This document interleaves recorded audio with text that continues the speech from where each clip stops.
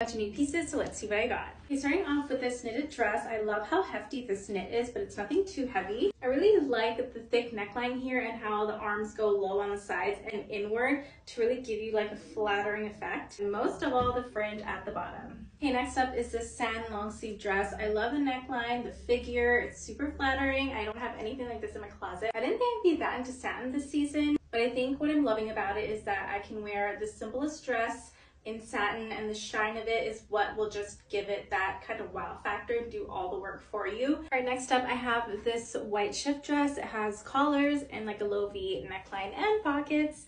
So these are just easy to throw on. I have another one from them that I always use, so I had to have something similar. All right, lastly is this black satin maxi skirt. I have one from them in like an off-white color, and I love it so much that I had to have it in black. It's super flattering. I get so many questions about it. I honestly love it to dress down, just like pair it with a t-shirt,